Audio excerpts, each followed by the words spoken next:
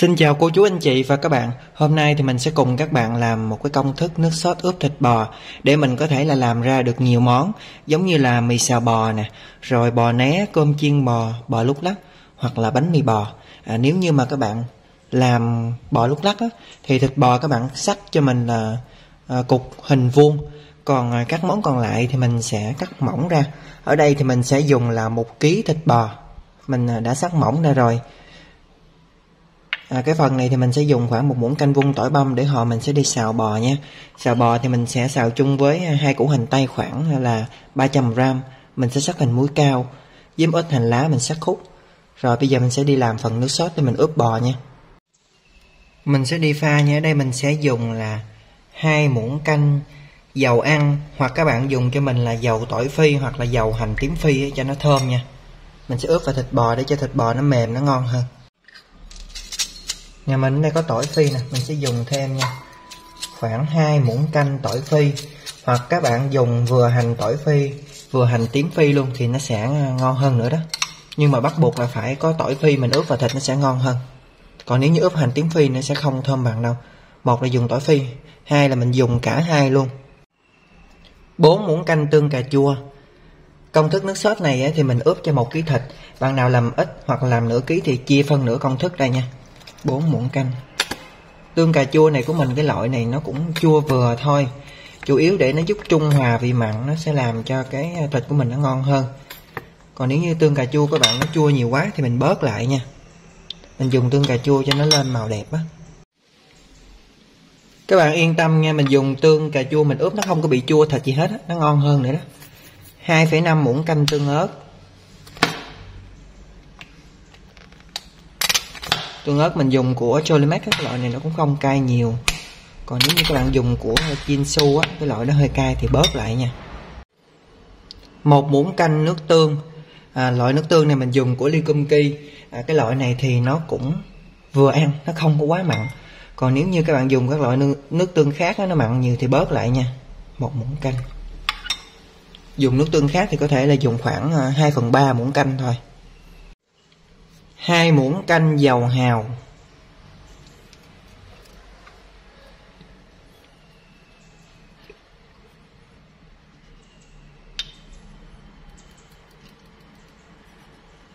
Muỗng canh lưng thôi nha các bạn. Hai muỗng cà phê bột ngọt. Cái này do mình làm sốt để mình ướp thịt á, nên nó sẽ, nó đậm đà. Gia vị thì mình dùng nó sẽ hơi nhiều nha các bạn nửa muỗng cà phê hạt nêm đường thì mình sẽ à, cho vào đây là hai muỗng canh đường. Muỗng gạt ngang nha các bạn. Tất cả mình đều là dùng muỗng gạt ngang, nếu như mà đông vung thì mình sẽ nói là đông vung. Hai muỗng canh.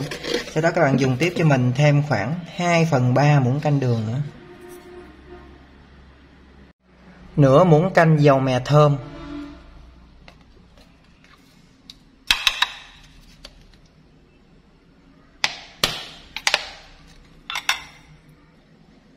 Và một nguyên liệu giúp cho món bò của mình thơm hơn là bột ngũ vị hương. Mình sẽ dùng là 1 phần 8 muỗng cà phê, Không dùng nhiều nha các bạn. Cái muỗng này mình dùng là 1 phần 4 nè. Mình sẽ dùng phân nửa của muỗng này là 1 phần 8 Các bạn dùng nhiều là nó ra món khác nha Hoặc là mình có thể dùng ít hơn khoảng một đầu đũa thôi. Cái này quan trọng nha các bạn. Các bạn lỡ tay bỏ nhiều là nó không có ngon đâu nha. Chỉ một ít như vậy nó sẽ giúp thơm thịt một muỗng cà phê tiêu. Một muỗng cà phê rượu mai quý lậu. không có rượu mai quý lậu thì các bạn thay thế bằng rượu trắng hoặc có thể là bỏ qua bước này luôn. Mình cũng đã có video chia sẻ làm rượu mai quý lậu rồi. Mình sẽ để đường link ở phần mô tả nha. Cái nước sốt này á, thì sẽ à, có hai cách. Một là các bạn ướp vào thịt. À, nếu như mà ướp vào thịt á, thì cái phần thịt thì mình sẽ để được khoảng 3 ngày trong ngăn mát tủ lạnh.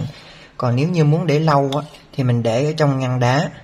Hai là mình sẽ làm sẵn cái nước sốt này để khi nào ăn á, thì mình sẽ ướp vào thịt. À, nước sốt này nếu như mà mình để trong ngăn mát của tủ lạnh thì các bạn để được khoảng hơn một tuần nha. Mình không cần phải nấu gì hết chỉ cần trộn đều nó lên cho nó tan đường là mình để trong ngăn mát thôi. Mình khuấy đều nó lên các bạn nhìn thấy gì cái nước sốt nó hơi nhiều, nhưng mà khi mà nó sánh sánh như vậy đó, mình xào thịt bò nó ngon lắm. Gia vị thì hơi nhiều thiệt, nhưng mà nó sẽ ngon nha các bạn. Hơi cầu kỳ. Nhưng mà nó phải gia vị nhiều như vậy thì cái món thịt mình ướp nó mới ngon, chứ không phải là những cái gia vị đơn giản như là đường, muối, bột ngọt, dầu hào rồi mình mình cho vào là nó ngon đâu. Giờ mình sẽ cho nước sốt này vào mình ướp các bạn ướp cho mình là ít nhất là nửa tiếng nha. Mình sẽ cho vào ngăn mát, mình ướp để cho thịt bò nó tươi.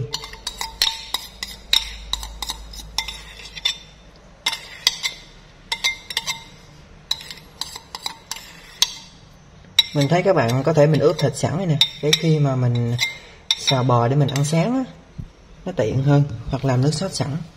Với lại thịt bò mình sắc mỏng, mình ướp nó cũng lẹ thấm lắm. Đâu, nhìn thấy nó lên màu rất là đẹp nè. Rất là thơm nha.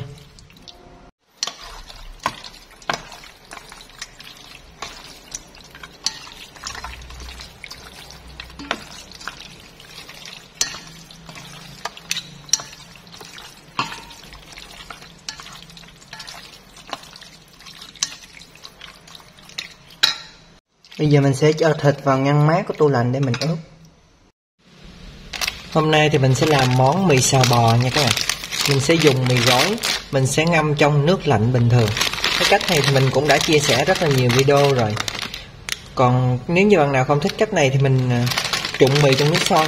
Còn riêng mình thì mình sẽ ngâm mì trong nước lạnh Thì khi xào nó sẽ dai, nó ngon hơn. Mình ngâm chút xíu là hồi nó nở mì ra các bạn.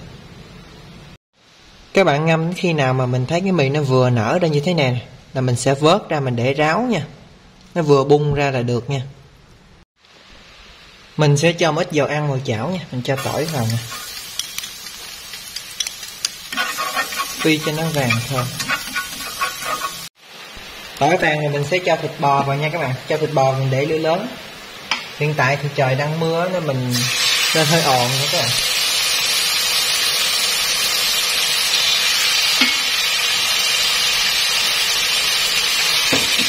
mình ăn bao nhiêu bò thì mình lấy bấy nhiêu nha.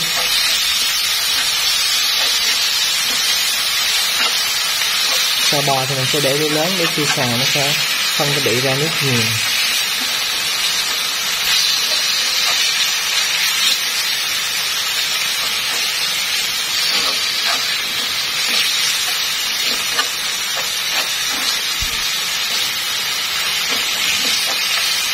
Bò nó bắt đầu săn lại rồi, mình cho hành tây vào luôn tùy theo các bạn thích ăn hành tây nhiều hay ít nha. Hành tây có thể mình sắc muối cao hoặc là mình à, sắc mỏng nó cũng được. Rất là thơm nha. Màu nó cũng đẹp nha. Bò bắt đầu nó tái lại nè. Nó chín được khoảng à, 70 phần trăm là cho mì vào nha các bạn. Đó, mì này thì mình à, ngâm nước lạnh rồi, nó nổi ra rồi vẫn để lửa lớn nha. À, hành tây một hồi nó ra nước rồi đó.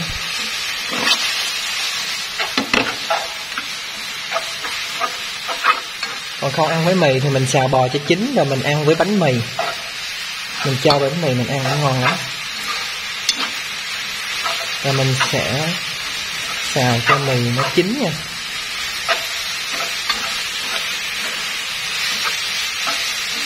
Nhanh gọn lại chuẩn bị cho bữa sáng.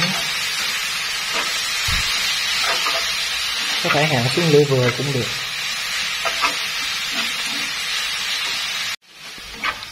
Giờ mì nó chín rồi nè các bạn. Hành tây cũng chín là nhanh lắm. Rồi trước khi tắt bếp, mình sẽ cho hành lá vào nha. Rồi mình trộn đều lên là được rồi. Bạn nào mà thích mùi thơm của bơ mình cho một tí bơ vào cũng được.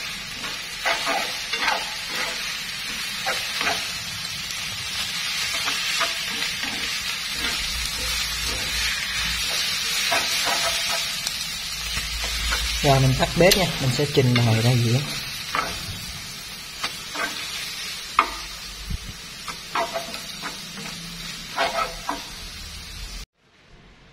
giờ mình sẽ ăn thử nha.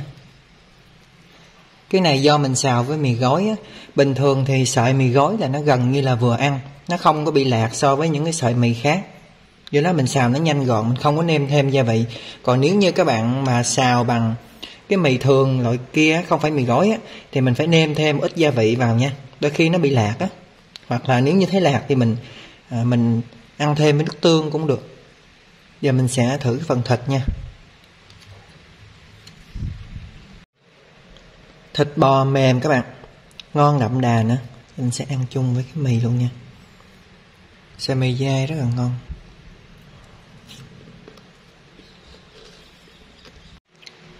Sợi mì mình thấy cũng rất là vừa ăn nữa. Với món này thì mình xin chúc các bạn sẽ làm thành công nha.